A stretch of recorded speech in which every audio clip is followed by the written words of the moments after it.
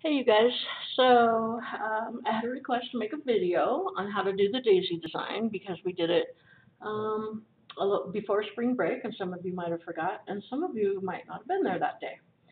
Okay, so what you're going to do is you're going to get your compass and you're going to set your radius. Okay, and you don't want to make it really small. Like you probably want to try to make it as big as as you can with this page so hopefully you guys were here when I gave you like the clean sheet of paper to use. Um, so you don't want to use a piece of binder paper. So if you don't have that paper, um, see if you can find a blank piece of paper.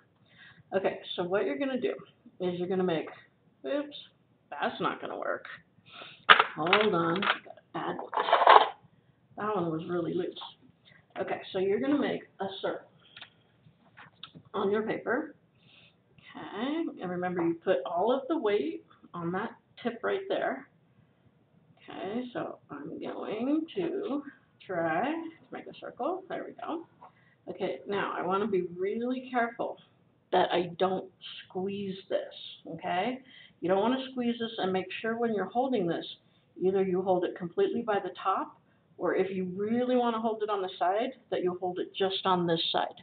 Don't put your hands on both. Okay, so without changing this radius, you pick any point on the circle that you want, and you're going to make an arc. Okay?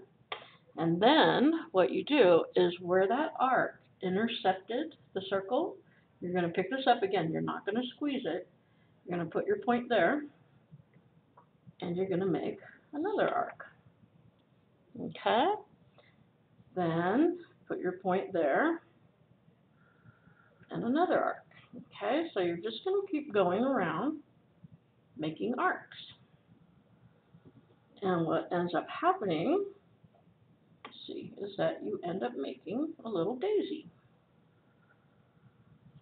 And sometimes these can be hard at first um, until you get a good feel for the compass. So you might want to make sure that you're practicing a couple of times um, before you go to make your final one.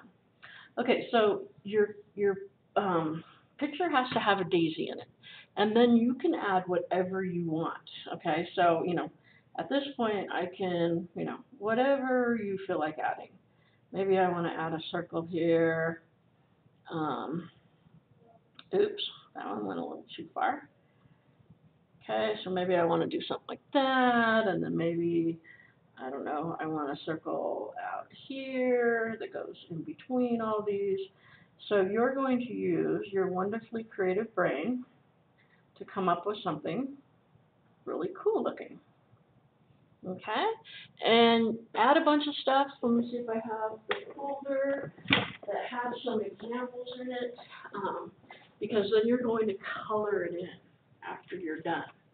Okay, so here are some examples of ones that people just left behind. Okay, so this person did some interesting designs.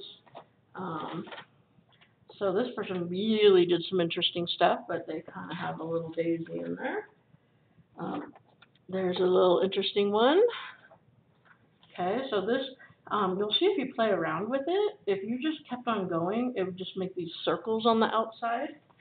Um, Okay, so you're just trying to come up with something that you think is kind of cool. Okay.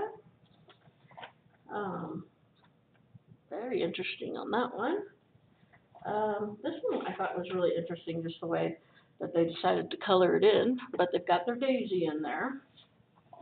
Okay. So just different ideas on how, you know, you could put that together and color it. Another one there. Okay, so you're going to bring that to school with you, um, and it is going to be worth a grade. Okay, so make sure on Thursday that you bring that in. All right, hope that helps. Whoops. Bye-bye. Maybe goodbye.